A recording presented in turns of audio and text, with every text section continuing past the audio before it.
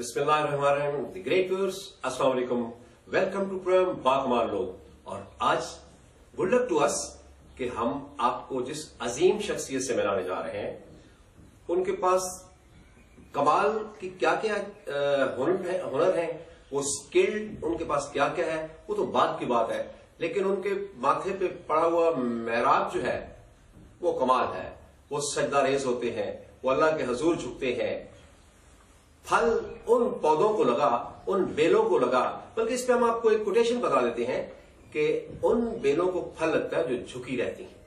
اور شیخ سادی رحمۃ اللہ علیہ نے کیا فرمایا کہ انگور کی بیل سے کسی نے پوچھا کہ یہ یلوش کلر یہ خوبصورت رنگ، اس کا راز کیا ہے؟ تو اس سے پوچھا گیا، تو کیا بتایا کہ سر چکا کے رہنیاں ساری تپ تو پھل پھر ان کو لگتا ہے۔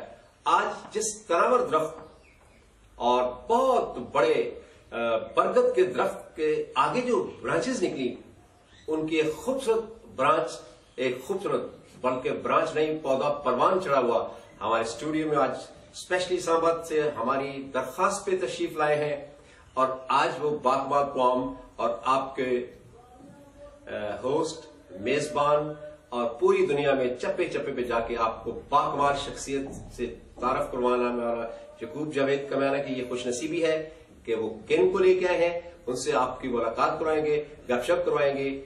لیکن آئیے پہلے آپ کو وہ خوبصورت کوٹیشن بھی بتاتے ہیں، تندرستی ہزار نعمت ہے۔ ہیلتھ از ویلتھ نبس زبان کھولو پتر، حکیم کا ایک محلے کا حکیم، ایک چھوٹی سی گلی کی نکڑ پہ ایک شخص کا صرف نبز دیکھ کے بتا دینا۔ کہ آپ کو یہ بیماری ہے، شفا بھی تھی، ہمیں خود یاد ہے۔ ہم بچپن میں نہ تو کوئی ٹاپ لیول کا ہاسپٹل تھا، کچھ بھی نہیں۔ ایک سرکاری ڈسپینسری فری ٹاؤن ساہیوال میں ہماری رہائش کے کونے پہ اور بڑی معروف دوائی دس نمبر۔ آنکھوں کی دوائی اور دو تو بیماریاں ہوتی تھی یا پیٹ درد یا آنکھوں کی بیماری۔ تو آنکھوں کی بیماری کے لیے پیلے زرد ایک دوا ہوتی تھی، ہم تو دارو کہتے تھے۔ اور کیا دارو تھا وہ؟ آنکھوں میں شفا اور پھر ایک ہی دوائی سارے شہر کو دے دی جاتی تھی، اس کا نام تھا دس نمبر دوائی۔ لیکن پھر سائنس نے خوب ترقی کی، ایلوپیتھی، حکمت، اور اس کے بعد دنیا میں چھا جانے والی ہومیوپیتھک کیا کیا چیزیں نکل آئی اور اب پہلے سب سے پہلے جب ہم کہیں جاتے ہیں تو کچھ نہیں پوچھا جاتا۔ جاؤ ٹیسٹ کرا دو پچاس ہزار ٹیسٹ لکھ دیے جاتے ہیں۔ آپ کروا سکتے ہیں، نہیں کروا سکتے، یہ آپ کا کام ہے۔ ہسپتالوں کے دروازوں پہ لوگ مر جاتے ہیں۔ کوئی نہیں پوچھتا۔ غریب عوام، فلاں عوام، آپ، کون سی عوام؟ ارے آپ اپنا علاج تو پاکستان سے باہر جا کے کرواتے ہو۔ ہمارے ساتھ بات کرتے ہو کہ ہم آپ کے لیے مر رہے ہیں، آپ کے لیے جی رہے ہیں کیسی بات کرتے ہو؟ کس زمانے کی بات کرتے ہو؟ دل دکھانے کی بات کرتے ہو؟ عمر بن خطاب کے زمانے کی بات کرتے ہو؟ وہ گلیوں میں گھومتے تھے۔ وہ تو وہ ان کے دور کی بات چھوڑیں۔ ریاست مدینہ کی بات آپ کیا کر سکتے ہیں؟ لہذا ہماری خوش نصیبی ہے کہ آج جس شخصیت سے ہم آپ کو ملوانے جا رہے ہیں، وہ پاک فوج کے جوان، پھر صرف فوج ہی نہیں، پھر سجدہ ریزی بھی علیحدہ ہو گئی، پھر انہوں وہ مسیحا بن گئے۔ مسیحا بنے اور انہوں نے علاج کرنا شروع کر دیا۔ اور پھر علاج بھی بڑی دلچسپ بات ہے جب ہم نے ان سے آف کیمرہ بات ہوئی تو کیا خوبصورت بات کہی؟ کہ کیمرہ صاحب، یہ نزلہ زکام تو چلو، چھوٹا موٹا حکیم ڈاکٹر بھی دور کر لیتا ہے، کوئی مہنگا بھی نہیں ہے، لیکن مجھے میرے ہاتھ میں اللہ تعالیٰ نے جو شفا دے دی ہے، پروردگار نے میرے اندر جو شفا ودیت کر دی ہے، وہ لوگ آتے ہیں جن کو سب جواب دے دیتے ہیں اور وہ اللہ کے آسرے کے بعد کہاں آتے ہیں؟ یہ ہم آپ کو کن سے ملتے ہیں اور اللہ کی ذات کے بعد کس شخصیت سے ان کو شفا ملتی ہے؟ ابھی ہم آپ کو ایک ننے سے وقفے کے بعد اس عظیم باغمار شخصیت سے ملوانے جا رہے ہیں۔ ہمارے ساتھ رہیے ملتے ہیں شارٹ بریک کے بعد اسٹیٹ یون with D N L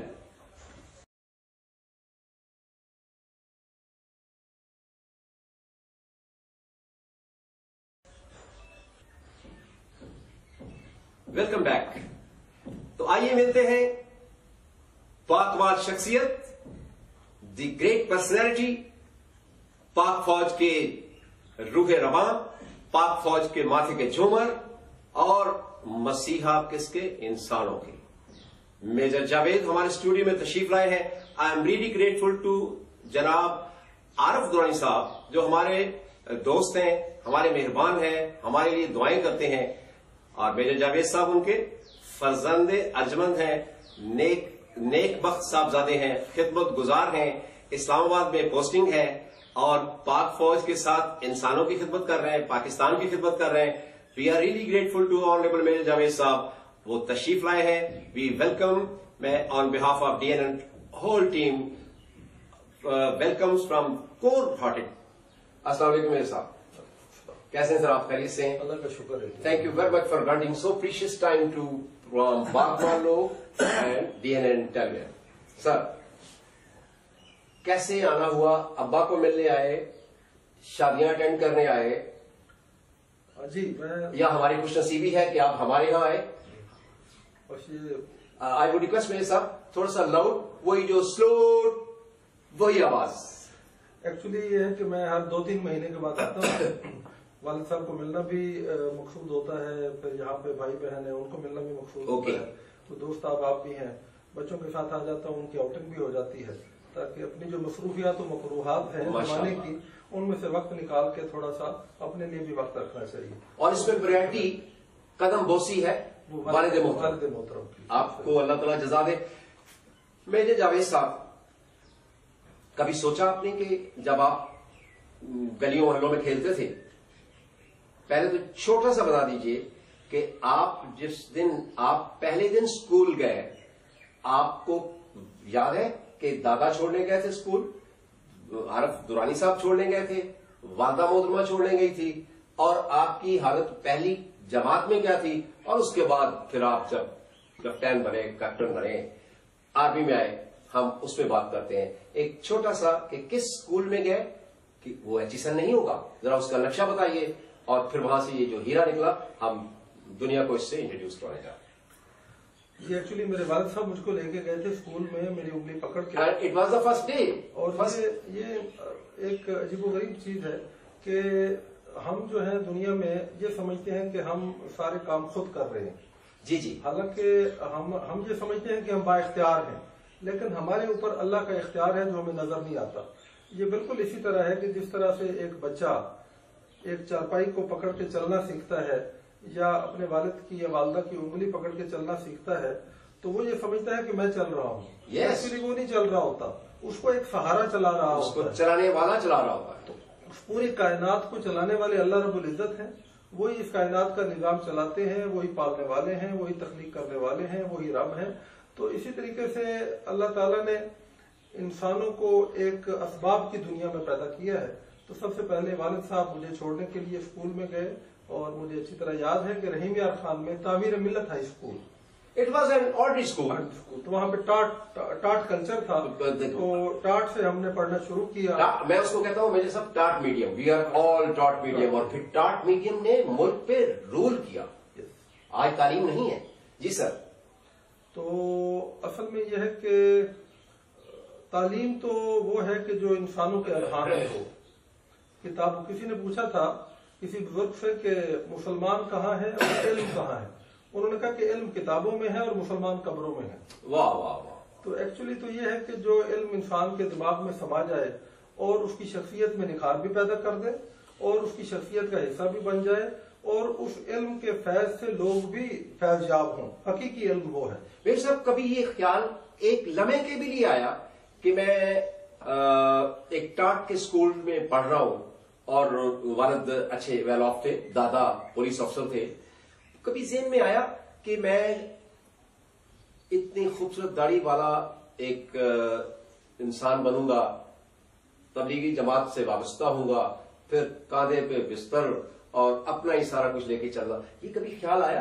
اور پھر اس کے بعد ہم آپ کو پوچھتے ہیں کہ آپ پاک فوج میں کیسے گئے؟ پہلے یہ بتائیے کہ اللہ کے گھر آپ کا جو اندر سے ایک انسان اندر والا انسان ہے، وہ تو لے کے جاتا ہے ارمان فلم دکھانے کے لیے۔ وہ تو آپ کو تہذیب فلم دکھانے کے لیے لے کے جاتا ہے۔ وہ تو آپ کو خرافات کی طرف لے کے جاتا ہے۔ کہ کیسے ہو inspired you to go to Tablighi Jamaat رائبن مرکز اور گیبیا بیٹی میں؟ اصل میں یہ تھا کہ میرے والدین شروع سے نمازی تھے۔ والدہ بھی والد بھی مسجد میں باقاعدہ جاتے تھے۔ اچھا، چھٹی ساتویں کلاس میں میں انکلائن ہو گیا مسجد میں جانے کے لیے۔ اور وہاں پہ میرا دل بھی لگتا تھا۔ اور نماز بھی ادا کرتا تھا۔ تو وہ جو کہتے ہیں نا کہ مین پرپوز گاڈ ڈسپوز. بلکہ میں یہ کہتا ہوں کہ گاڈ پرپوز گاڈ ڈسپوز تو یہ اللہ تعالیٰ ہی چلا چلاتا ہے۔ اور یہ انسان کی خوش نصیبی ہوتی ہے۔ اور حدیث میں آتا ہے کہ اللہ تعالیٰ جس سے بھلائی کا ارادہ فرماتا ہے اسے دین کا فہم عطا کر دیتا ہے تو یہ جو اللہ تعالیٰ نے دین کا تھوڑا بہت فہم ہمیں عطا کیا ہے جو کہ سمندر میں قطرے کے برابر ہے اگر ہم دور صحابہ کو اور انبیاء کے دور کو دیکھیں اور آج کے گئے گزرے دور کو دیکھیں قرب قیامت والے دور کو تو یہ اللہ تعالیٰ کی خالص مہربانی ہے اللہ تعالیٰ کا۔ فضل ہے اللہ تعالیٰ کے۔ فضل اور کرم سے یہ ہوا کہ اللہ تعالیٰ نے اپنے راستے کی طرف چلا بھی دیا اپنے راستے پہ لگا بھی دیا اور ہمیں ٹوٹی پھوٹی عبادت کرنے کی توفیق بھی عطا فرما دی اور ہم دعا بھی کرتے ہیں کہ اللہ تعالیٰ اخلاص سے ہمیں اخلاص نصیب فرمائے اور ہمیں ریاکاری سے بچائے اور ہماری اس ٹوٹی پھوٹی عبادت کو اور ٹوٹے پھوٹے اعمال کو قبول فرمائے۔ آمین۔ میرے صاحب پاک فوج میں اس کا حصہ بننے کا وہ شوق ایک- جو ہی بچہ میٹرک کرتا ہے، سب پوچھنے شروع ہو جاتے ہیں۔ وہ خود بھی کہتا ہے، میں بڑے ہو کے کیا بنوں گا؟ وہ تو نہیں کہتا، لیکن سب پوچھتے ہیں، والدین پوچھتے ہیں، ادھر آپ کیا بنیں گے؟ آپ کو بھی کسی نے کہا یا آپ کو خیال آیا کہ میں آئی ول گو ٹو پاک فوج ایکچولی میں نے سیونٹی سکس میں میٹرک کیا. اچھا جی. تو میٹرک کے بعد جو وقفہ ہوتا ہے کالج میں جانے کے لیے اس میں میں نے نسیم حجازی کے ناول پڑھے. اچھا. تو نسیم حجازی کے ناول جو ہیں وہ بڑے انقلابی بھی ہیں. گریٹ رائٹر گریٹ رائٹر اور بہت خوبصورت وہ لکھتے ہیں. اور وہ ایک سچویشن میں لے جاتے ہیں. یعنی اچھا۔ ان کی تحریر کو پڑھتے ہوئے بندہ اس سچویشن میں ابزارب ہو جاتا ہے. اور جب تک کہ وہ ناول ختم نہ ہو اس کو چھوڑنے کو دل نہیں کرتا۔ تو ان ناولوں میں اور تلوار ٹوٹ گئی ٹیپو جی، جی، جی۔ سلطان اور اس طرح کے اور بھی ناول تھے۔ عرصہ ہو گیا ان کو پڑھے ہوئے۔ تو اس کے بعد مجھے یہ خیال آیا کہ مجھے ایک مجاہد بننا چاہیے۔ اچھا۔ تو- مجاہد کی تو سر بہت قسمیں۔ بس وہ اس میں تو ڈینجر سین بھی آ رہی پاکستان میں جو پاکستان میں جو ایک سلسلہ تھا اس میں پاک فوج کا۔ جی۔ پھر اس فوج کے نام کے ساتھ پاک فوج لگتا ہے۔ واہ اس آستانے کو پاکستان کا ماشاء ماشاء۔ اور یہ پاک سرزمین ہے پاک دھرتی ہے پاک۔ فوج ہے تو مجھے یہ شوق پیدا ہوا کہ میں وردی بھی پہنوں اور پاک فوج میں جا کے ملک و قوم کی خدمت بھی کروں۔ تو وہ ایک خواہش تھی اللہ تعالیٰ نے اس کو مٹیریلائز کر دیا اور ایٹی فائیو میں میں نے as a second lieutenant Multan to commission ہوا،۔ کمیشن ہوا اور ٹو اور ملتان میں میں نے جا کے اپنی فوجی خدمات کا آغاز کیا وہاں میرے ساتھ بڑی کھل کے بات کرتے ہیں میکسم مجھے لوگ جو ملے ہیں فورسز کے اندر، وہ بارش ہیں۔ سارے بھی نہیں، لیکن کوئی ایسی قدرم تو نہیں آ جاتی، کوئی ایسی ریسٹینٹس نہیں آ جاتی، عبادت میں آپ ایکسرسائز پہ ہیں، کوئی ایسی چیز تو نہیں۔ جی، فوج میں کوئی ایسا نہیں ہے، معاملہ فوج میں، بلکہ داڑھی اگر کٹوانی ہو تو اس کے لیے اجازت لینی پڑتی ہے۔ اچھا۔ اور اگر داڑھی رکھنی ہو تو صرف انفارم کرنا پڑتا ہے۔ اس لیے اس میں بارش لوگ بھی ہیں اور آزادی ہے اس میں کسی قسم کی۔ اور بلکہ اس کو اپریشیٹ کیا جاتا ہے یہ سنت رسول ہے۔ اور اس پہ عمل اگر کوئی کرے تو اس کے لیے خوش قسمتی کنگریچولیشن ٹو درانی فیملی میرے صاحب فوج سٹار لگ گئے ایجوکیشن ماسٹر ٹاپ پہ ٹاپ اور ٹاپ کہ آپ ولیم شاپے کے پیچھے کیسے چلے گئے؟ وہ جرمنی کا ایک جس نے دنیا کو ایسا خوبصورت علاج دے دیا، آج صرف پاکستان میں نہیں، اگر کوئی ہومیوپیتھی کا نام سنتا ہے، لیتا ہے، تو فٹ جرمن چلا جاتا ہے۔ آپ کو اس، آپ اس ٹریک پہ کیسے آ گئے؟ اور کیا سوچا؟ Why not M B B S why not others اور اس میں آنے کی خاص وجہ خود شوق سے آئے نورانی صاحب کا شوق تھا، یا تو انہوں تقا کے نہیں ایکچولی یہ ہوا اس طرح کہ نائنٹی سکس میں میری پوسٹنگ تھی فورٹین ڈے بکاڑا میں. اچھا۔ تو وہاں پہ ایک میرے دوست تھے ان کا نام تھا میجر سیف الدین صاحب اچھا۔ تو وہ M B B S doctor بھی تھے ہومیوپیتھک ڈاکٹر بھی تھے۔ تو مجھے کوئی تھوڑا سا مسئلہ ہوا تو میں نے ان سے عرض کی تو انہوں نے مجھے ایک میڈیسن لا کے دی۔ اچھا۔ جب میں نے لی دو تین دن تو میرا مسئلہ ٹھیک ہو گیا۔ اچھا حالانکہ بھائی صاحب اس کے بارے میں یہ ہے کہ یہ کریک کرتی سلو چلتی ہے سلو رسپانس تھا ماضی میں اب تو پتا نہیں۔ اصل میں یہ بھی ایک مسکنسپشن ہے۔ اچا کیونکہ ایکچولی یہ ہیموپیتھی بڑی کوئک ہے۔ اچھا۔ ایسے امراض جو کہ بالکل لا علاج ہیں جس طرح اسکن کے امراض ہیں اوکے اس میں ٹائم لگتا ہے کہ یعنی کہ جس کا ایلوپیتھی میں علاج ہی نہیں ہے. You will have to live with it through your life okay تو اس میں تھوڑا تھوڑا سلو علاج ہے۔ کب کیا؟ نائنٹی؟ سکس میں نائنٹی اچھا۔ سکس میں پھر انہوں نے لا کے مجھے کتابیں دی۔ اچھا جی۔ انہوں نے جب میرا انٹرسٹ دیکھا کتابیں لا کے دی اور اس کے بعد پھر میں نے ہومیوپیتھی کا باقاعدہ کورس کرنا شروع کیا چار سال کا۔ تو ٹو تھاؤزینڈ ٹو میں میں نے اس کو مکمل کر لیا اور ساتھ ساتھ میں پریکٹس کرتا رہا۔ فوج کے اندر بھی چودہ سال میں نے پریکٹس کی اور ہم میرے صاحب سلسلہ کلام جاری رکھیں گے۔ ایک چھوٹا سا وقفہ ملتے ہیں وقفے کے بعد۔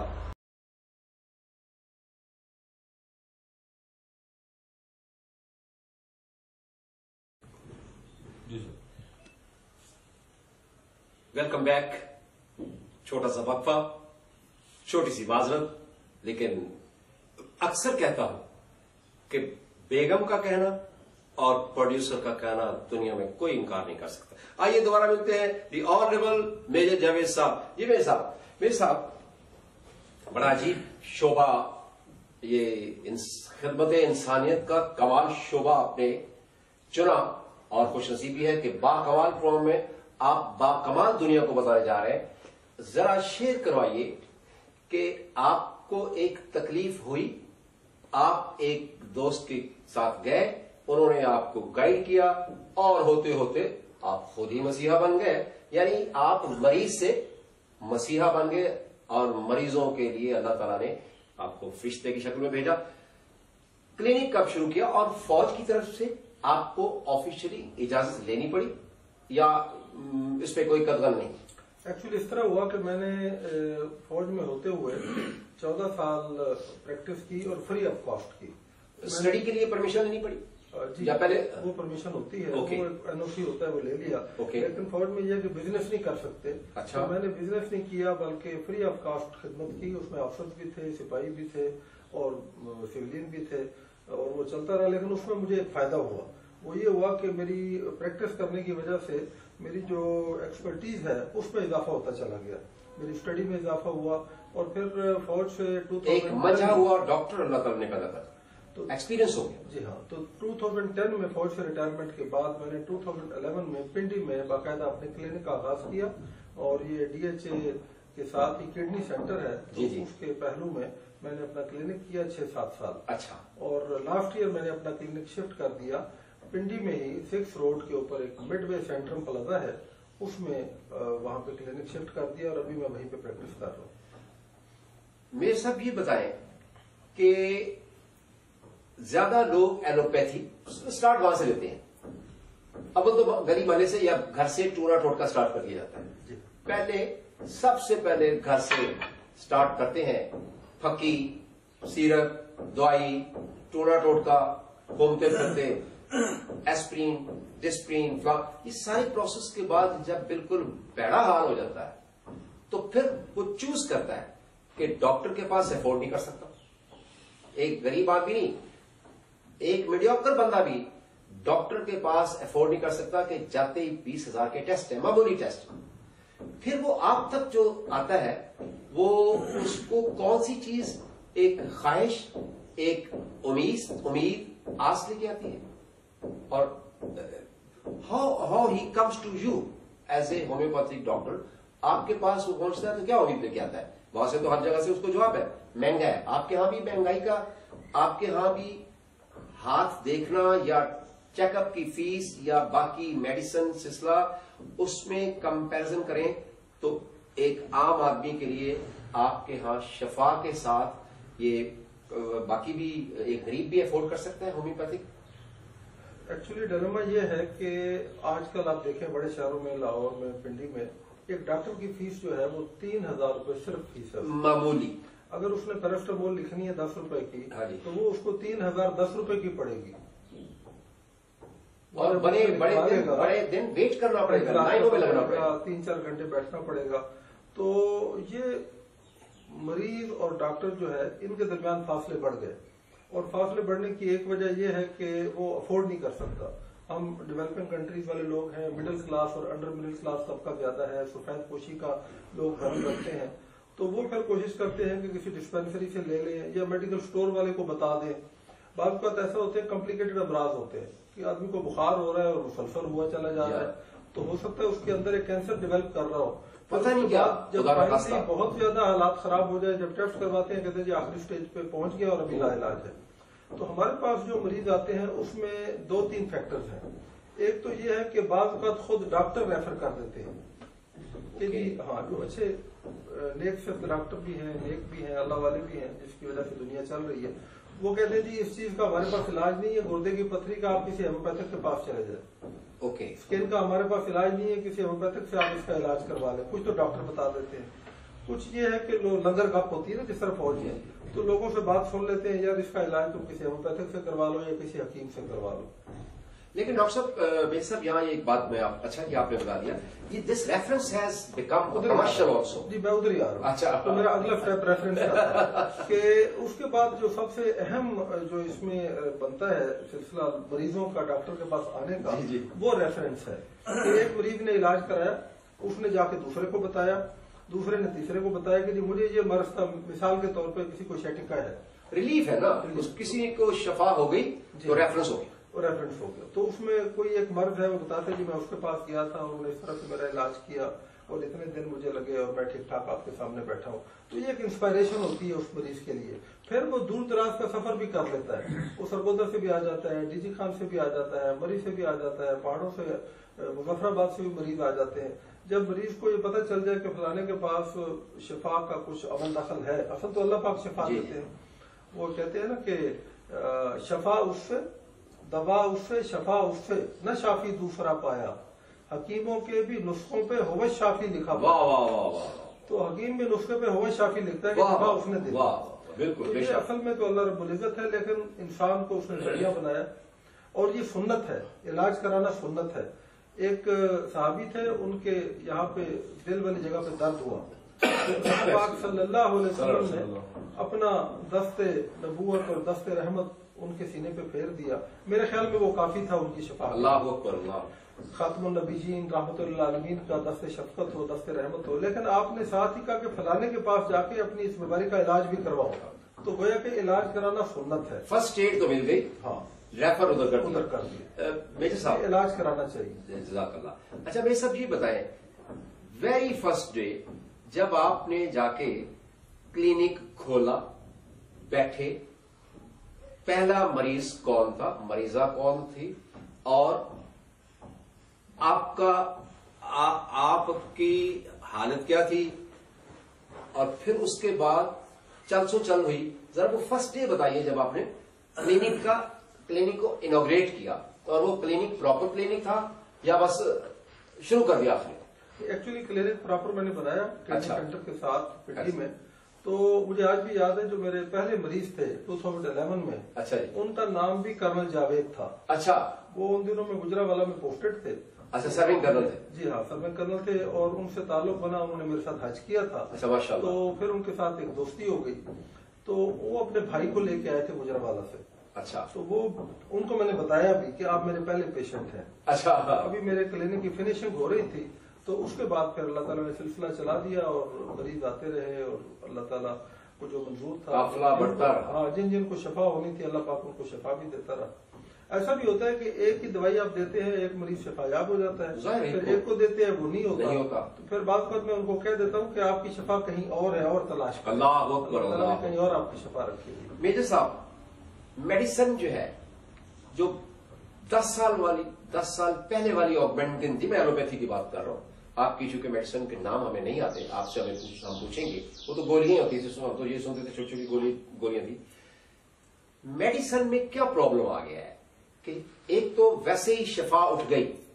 وہ اس لیے کہ دوا اور جو دوا خانے کمرشل ہو گئے غریب کی پہنچ سے باہر ہو گئے۔ hospital has become a commercial industry. Education has become a commercial industry. Everything has been commercialized. ایک چھوٹا سا وقفہ ملتے ہیں شارٹ بریک کے بعد